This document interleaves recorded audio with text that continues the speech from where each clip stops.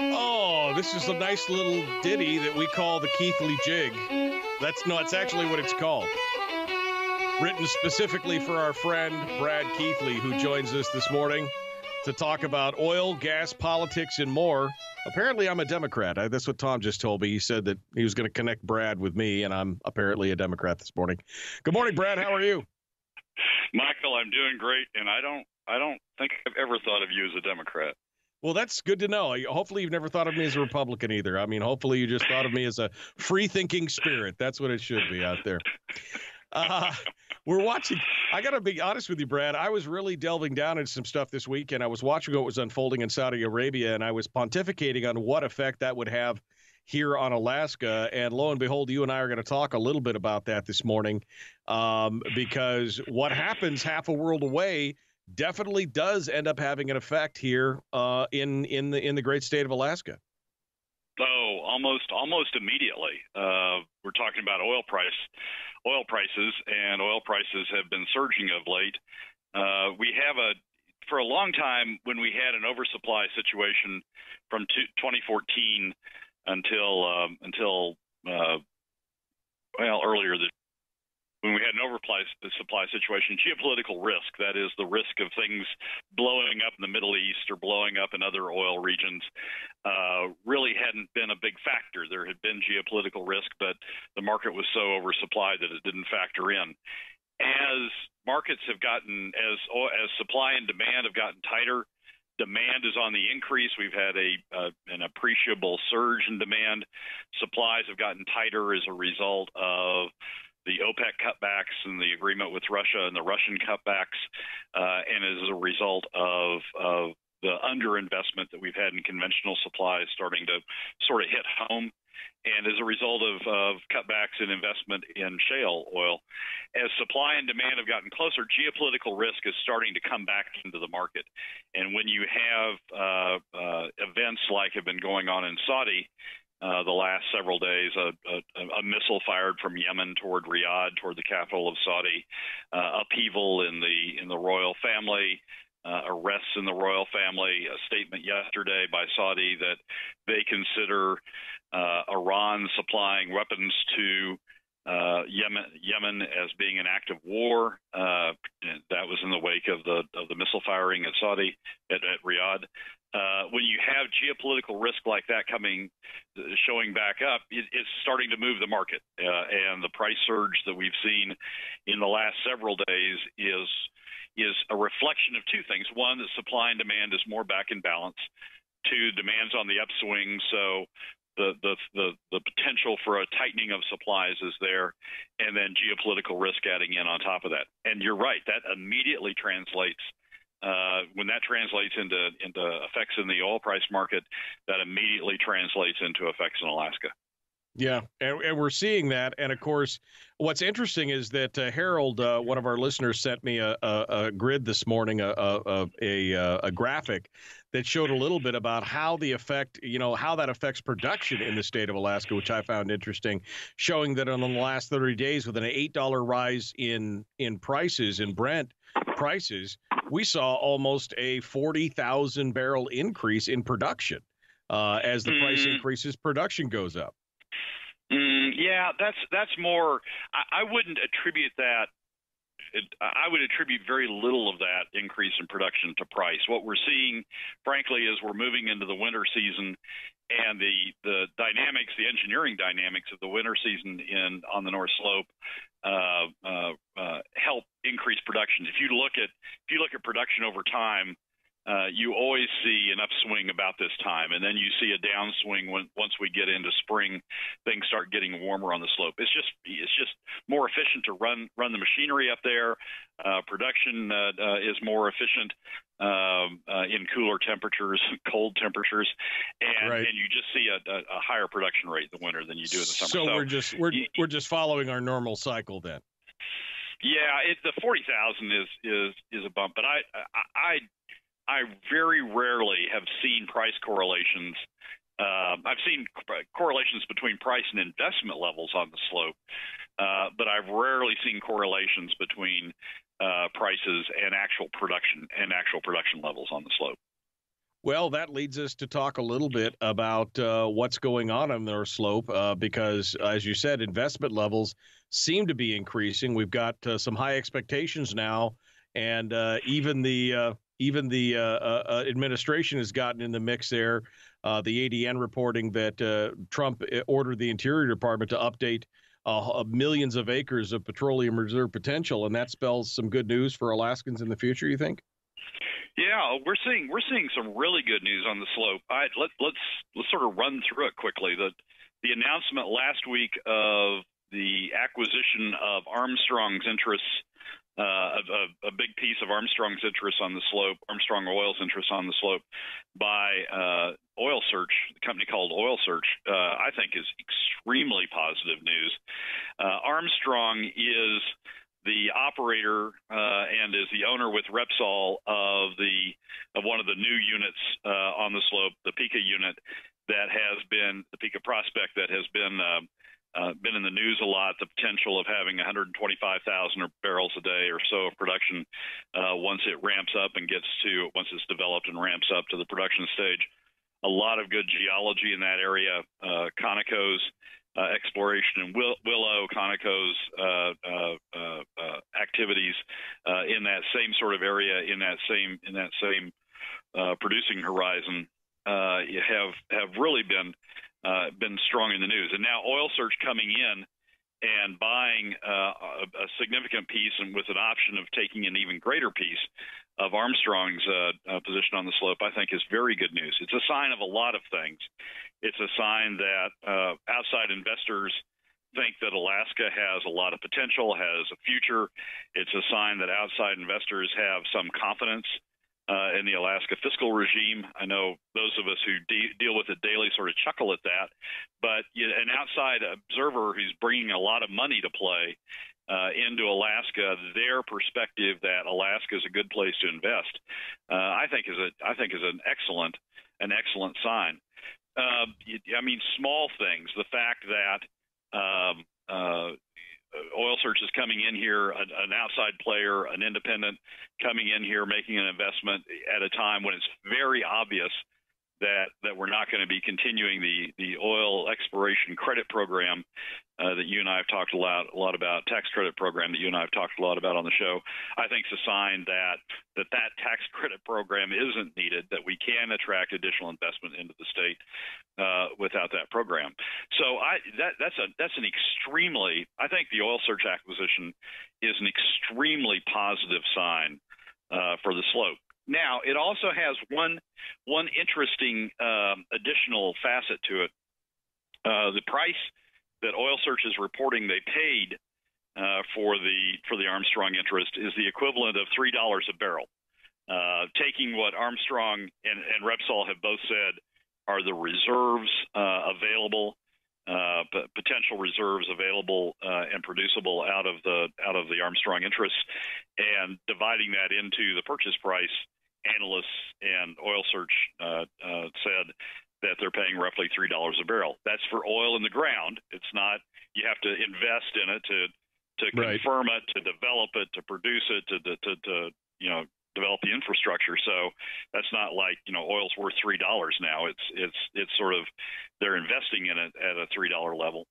But even even in the current price environment, and even given the fact that it's still in the ground, that's a fairly low price. So what that tells you also is yes, there is strong interest in Alaska, uh, and yes, there is strong interest by outside investors uh, in Alaska, but they're still discounting the the purchase price uh, frankly, based upon the risk of actually getting that oil out, the risk of developing the risk that Alaska has in developing reserves.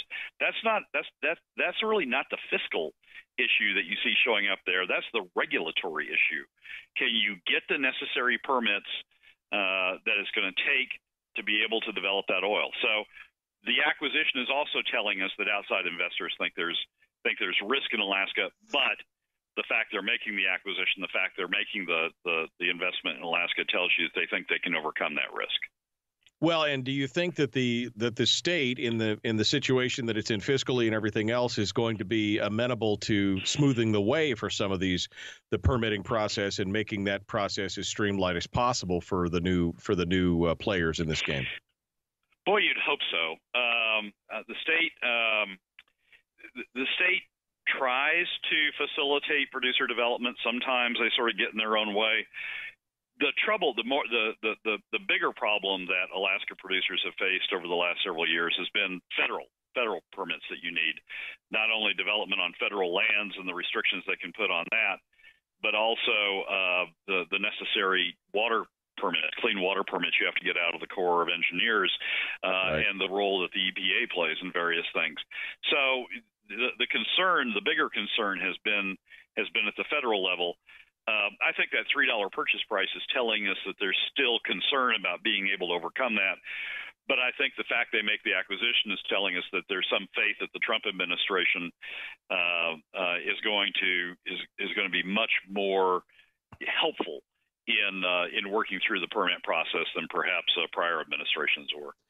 Well, and the and the administration's move to recategorize and re-estimate all that all that 23 million acres probably is a good sign in that regard. Yeah, in the NPRA, the the the, the administration has uh, uh, opened up uh, significant amounts of the NPRA for leasing. They are making the exploration program. Conoco's got five wells on the western uh, North Slope. Uh, five exploration wells coming up this season. Armstrong has two development wells. Not all of those are in the NPRA, but but but some of those are. And and opening up the leasing in the NPRA is also a sign that this administration is trying to make uh, oil development on the North Slope easier. Uh, leasing leasing uh, is is an indicator of a lot of things. Uh, if you find if, if, a producer finds a big field, oftentimes it's not got all of its un, all of it under lease, and in order to make uh, make a even a big field economically possible uh, on the North Slope, someplace remote like the North Slope, high cost like the North Slope, you need to have big quantities. You need to find, you know, significant quantities that you can spread your costs over. So when you when you make a find on a on a on a given set of leases, you you fairly rapidly want to be able to expand your holding to include the entire acreage that you think you may where, where you think you may have have productivity and you may have oil. If you've got a tight leasing regime, uh, then you're you're you're skeptical you're going to be able to do that, and so you don't go in. Frankly, you're sort of impaired from going in that in to make that initial investment because you don't know if you're going to be able to expand your position uh, if you find something. But when you have a a a, a broader leasing regime, then you're more comfortable if you go in and make that find. You're going to be able to broaden out your lease position to to, to make your uh, uh, make your development uh, pay off. So the fact that the Trump administration is opening up uh, uh, higher leasing levels in ANWR is not only encouraging in terms of giving you additional acreage to go out and explore on, it's also encouraging in the sense that if you find something, you're going to be able to develop your lease position to be able to turn it into turn it into the size of development you need to be able to make it pay off. So it's sending the Trump administration is sending very good signals to oil developers in terms of in terms of the outlook for uh, for development inside NPRA and even outside NPRA on state lands to the extent that your oil prospect might might bleed over or might also be on some NPRA leases. It's, it's sending very positive signals. And you see industry responding to that. You see Conoco going, going out with the five exploration wells. You see uh, Oil Search coming in and acquiring uh, Armstrong's interest. So it's it's a we're we're entering, and and that's even without layering on higher price levels. So we're right. entering we're entering a fairly uh, good cycle, I think, uh, on the North Slope. We, we've got a bunch of positive indicators right now, um, and frankly, very few negative indicators concern about whether the legislature comes in and mucks with the oil the oil tax system again. That'll be a concern. Uh, concerns about whether you know you're going to have litigation over the Trump administration's expansion of development opportunities on the slope. But by and large, I think that uh, the indicators that are coming out of the slope right now are very positive. Uh, I want to spin this out as to what this, how, what effect this has in the state of Alaska. But Harold sent me a uh, message here based on our discussion about price and production, and uh, his comment is: once the price of oil maintains above 60, the fracking companies will be back online. This will be an increase in supply. Price is the uh, in the market is the 800 pound gorilla. There's always been a positive correlation with price and supply. The high cost barrier for the North Slope has been mitigated by three decades of North Slope development. In short, the North Slope legacy fields are cash cows for the oil companies. Your comments on that? Well, they are cash cows for the oil companies, but but the fact that we're having and, and people usually say that and say, well, they're just gonna they're just gonna wind those down. They're just gonna play those out, keep producing oil out of the out of the out of the legacy fields and, and keep winding those down and just taking the cash off of it, not reinvesting. I think what we're seeing now is that we are attracting additional investment to the slope. That they're not just being viewed that the slope's not just being viewed as cash cows. It's being viewed as as an opportunity uh, for additional investment and additional finds. I think that's what we're seeing in the five exploration wells that Conoco's going out with. I think I think that's what we're seeing in uh, in the Oil Search uh, uh investment. That people are viewing the slope not only as a cash cow opportunity, but also as an investment development opportunity. Uh, I do, again, I want to see what the effect of these things is going to be on the state, but we're up against the break. Uh, we're going to continue the Michael Dukes Show.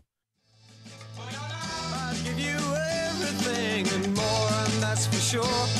AM 700 KBYR, Oldies 102.1. Welcome back to the Michael Dukes Show, your home for Common Sense Radio. Brad Keithley is our guest. We're continuing now our discussion of oil, gas, the budget, and politics. Uh, when we before we went uh, to break, we were talking about the increase in uh, oil uh, resources, discoveries, new investment that's going to be happening on the slope. Brad, what does that all spell for the state of Alaska in the long run? Well, I think I think positive positive things. Let, us sort of break it into price and production. Price, um, if, the, the oil price yesterday well, the oil price over the last few days has, has soared above $60 a barrel. Uh, yesterday it touched 64. It's back down to 63 today. Sort of some profit take it going on, I think. Uh, but we're, we're looking at the potential for a sort of a breakthrough on oil price regime, and now talking about oil prices that start in the sixes instead of starting in the fives. Uh, I just pulled up the the price forecast that underlies the administration's revenue outlook uh, for the next 10 years that they published on a preliminary basis a couple of weeks ago, and they predict of, of their their revenue forecast is predicated on an oil price for fiscal year 2018, the current fiscal year, of $54. They don't get they don't get to the $63 level that we're at right now until FY 2020. So if we've if we've broken through and we're now in a $60 price regime uh, on oil prices, we're talking about a not immaterial change uh, over the revenue forecast that the that the that the administration is predicating their their budget and their fiscal plan on. Um, production, uh, the administration's forecast has sort of caught up to the current production wave, uh, and frankly, I think their production prediction their production outlook now is fairly robust. They've taken into account risk adjusted to some degree, but taken into account uh, Armstrong's find, now the Oil Search Repsol uh, project. They've taken into account uh, Conoco's activity and projected that out. If we if we see another surge of investment on the slope in response to price or in response to things like uh, the NPRA opening up or Oil Search's investment, other people following with that, and see and see increase in, in production, that would be helpful also. But right now, I think the administration is pretty good on their production outlook. But price, um, I, I think the administration has. I, we've you and I have talked about this over over the last couple of years. I think the administration's been wrong on price, fairly consistently been too low on price, and it looks like if we're breaking into a sixty dollar price regime, they're they're low again, um, and right. and that uptick in price could be very helpful. Uh, we're talking with Brad Keithley here on the Michael Dukes Show, AM 700 KBYR and Oldies 102.1. Um, you know, speaking of this uptick in price and their fiscal outlook, Senator Pete Kelly had an opinion piece in the Alaska Journal of Commerce, which kind of pokes some points of fingers at the administration, saying that their numbers were I, I guess I'll be polite and say they were flawed. Uh, and in some cases, I think some people were saying they were potentially underselling it intentionally to kind of gin up a crisis, which the senator says is just not there. What are your thoughts on Pete Kelly's uh, opinion piece there? Well, I'll, two things. One, the the the part of me that wants to be nice to Senator Kelly and the Senate Republicans is, yeah, you're right. Uh, uh, the administration has been under forecasting, whether intentional or not. Governor Walker came back with a piece in response to Kelly's that said, you know, he took he took offense at, at at the senator suggesting the administration had intentionally underplayed revenues. Um, but Senator Kelly's right in the sense that that I think you and I have talked about the administration uh, uh, under forecasting revenues and, and painting a more dismal fisc- fiscal picture than I think than I think is fair. But but so that's the part of me that wants to be nice to Kelly. But but the but the problem with Senator Kelly and the problem with the Senate Republicans is they say that on the one hand, and then they go out and cut the PFD uh, on the other. They impose a PFD tax on on every Alaskan, a PFD tax of 50% on every Alaskan, take 750 million dollars out of the out of the private sector, moving it to the state through the PFD tax, uh, cause a billion dollars by the time you add in the multiplier effect, cause a billion dollars in damage to the overall Alaska economy uh, by moving that money uh, over to the government side or sort of keeping it in savings. Um, and and and so it, it, it's sort of the pot calling the kettle black, right? I mean, the the, the Senate Republicans are saying, "Hey, administration, you've done bad things by underestimating revenue, and say that we need additional uh, new revenues." Uh, we, we, we think you're wrong about that. But the Senate Republicans, the very same Senate Republicans, have adopted new revenue measures of their own because they they can't control spending, and they they have used uh, uh, predictions of of the state's revenue picture that I think are are understated. So, yeah, Kel, I mean, Kelly's using this as a as a political moment to try to say that the that the Senate Republicans are on the right track, but the Senate Republicans aren't on the right track.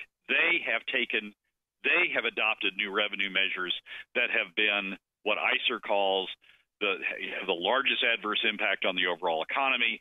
Are quote by far the worst for Alaska families have taken 700 plus million dollars out of the private sector, have caused a billion dollars in loss uh, in terms of economic uh, activity, uh, overall economic activity in the state, overall income in the state, um, and and and it's hard for me to get, you know, very very enthused about Kelly's claims against the administration when the Senate Republicans themselves are guilty of the same thing that they're that they're trying to blame on the administration.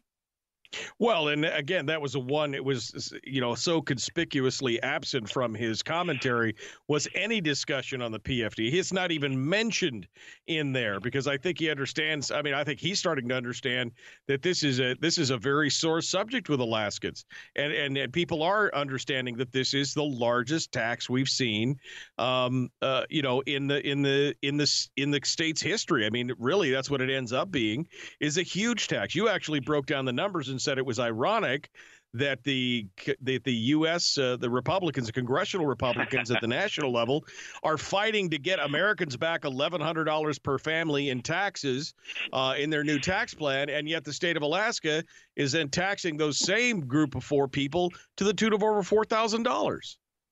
Yeah, it's it, it, it, that that is that is an amazing statistic. So, the the the Senate when the House uh, Republicans announced the House Ways and Means, Com- Means Committee announced the Republican tax plan, they made a big deal out of the fact that the whole plan uh, would have the effect of saving 11 what is 1182 dollars for the average family, average American family of four, uh, right. and that and that it was worth the fight to put this money, you know, given the economic times we're in. Said the economic, said the Republicans, it's it's worth the fight to to put this money back into the economy, and and and you're right you just compare that to us what the Alaska Senate Republicans have done, uh, they've taken almost four times more out of the pockets of the same family in Alaska, the same wage earning family in Alaska. Uh, through the PFD tax. So, what the what the congressional Republicans are fight, fighting to do on the one hand, the Alaska Senate Republicans are take are taking back plus, uh, you know, four times more uh, on the other hand. It's it's a it's ironic that it's the Alaska Senate Republicans uh, that are that have that have hurt the economy the most, adopted the the the the fiscal measure that has the largest adverse impact on the overall economy is by far the worst for Alaska families. Pushes 12 to 15,000 Alaskans, two percent of the population, back below the poverty line. It's just ironic that you know these these Republicans, so-called Republicans at the at, in the Alaska Senate, who you know want to say that they're free market and they're you know private sector oriented, are the very ones who have pulled that money out of the private sector and put it back put it back into the government's pocket and and comparing that to what the congressional Republicans are doing is just just makes that even more astounding. Well, and the true irony is the fact that this money didn't even end up going into spending on government, so it didn't stimulate the economy in any way, small or large, because it basically ended up just sitting in the account. So I need to add insult to injury. It wasn't even turned, you know, half a time in the economy as government money is wont to do, uh, let alone the one, one and a half times that, that it does in the private sector. It just sits there. Yeah, yeah, and and Kelly's art. Yeah, you're right that Kelly's piece doesn't doesn't comment on the on the permanent fund dividend, the permanent fund dividend tax uh, at all. I, what they're trying to do, in my opinion, and and and Governor Walker's response to Kelly doesn't mention it either. What they're trying to do is bank that 50% tax. You know, say it's done, it's over, stop talking about it, uh, it's in it's in our pocket, and now let's let's fight about these other taxes. Uh, that that's we're in a recession. Alaska's in a recession. I'm not sure. I'm not sure that gets through to legislators when you talk to them. We are in a recession. That means our economy is going backwards. Jobs are going down. Income, Alaska income is going down. Alaska families are hurting. That's what a recession does.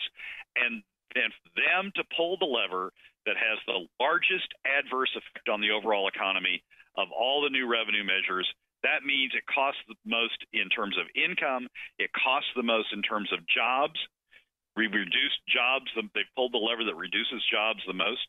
Uh, for them to for them to be pulling that lever uh, in the midst of a recession is just shocking. I mean, it's just you, you don't think that people would do that. You don't think they would take uh, the, the the the route that has the largest adverse impact uh, on the overall economy. But that's what they've done, and you know, and Kelly just doesn't. Uh, he he just overlooks it, uh, tries to look past it in his piece, and say, you know, the Senate Republicans are fighting hard to to avoid new taxes. Well, no, you aren't. you've you've passed a seven hundred and fifty million dollar tax. You passed a tax that has the largest adverse impact on the overall economy. You aren't fighting hard to do anything. You've already given in uh, to uh, uh, uh, on on on that measure, and and now you're gonna you, now you're gonna argue about the next tax. Well, guys, it's we need to go back and talk about the tax that you passed. We're in the midst of a recession. We need to talk about what you did to make that situation worse and and and they of course they don't want to, but it's but but it's just Kelly's piece. I, I, I honestly my first reaction when I read it was I, I just laughed. I mean, how, how can you legitimately sit there and say? You know, we're we're fighting hard against taxes. The administration has been has been less than forthcoming. You guys have have hit, have hidden production and hidden oil prices.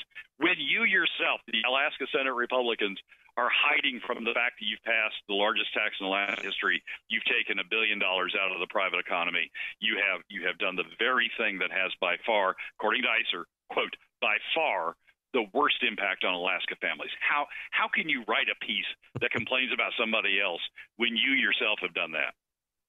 Brad Keithley is our guest here on the Michael Dukes Show. AM 700 KBYR at Oldies 102.1.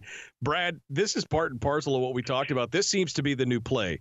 The new play is to down, kind of downgrade and, and hide the fact that the dividends are gone. They want to stop talking about it. In fact, what they really want to do is they want to just act like it's already passed and they've already enshrined and, and in statute changed the PFD payout uh, because they just say it's, it's just a done deal. Uh, what what do we do from here? Where do we go from here? Less than two minutes uh, to try and fix this and, and make this right.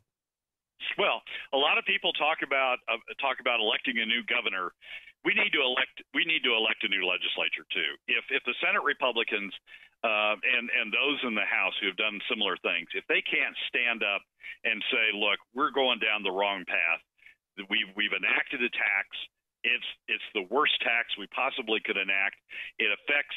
Uh, uh, it's by far the worst for Alaska families. It's put 12 to 15,000 additional Alaskans additional Alaskans below the poverty line. If they can't stand up and say that's wrong, uh, then then they need to be replaced. Senator Mia Costello uh, on Senate Bill 91 wrote a piece and said I was wrong on, on SB 91. I shouldn't have I shouldn't have supported it. We need to repeal SB 91 or, or significantly change it. She had the she had the courage on SB 91 to stand up. But Mia Costello is one of those who's voted for the PFD tax that has the largest adverse impact on the Alaska economy, by far the worst on Alaska families. She's voted for that, and she hasn't said she's wrong about that. Frankly, she needs to be replaced. If she Yeah. doesn't see the Yep. error, the error of her ways, she needs to be replaced. Brad Keithley, out of time. Thanks for coming in and joining us. I'm 100% in agreement with you. Appreciate your calls today. AM 700.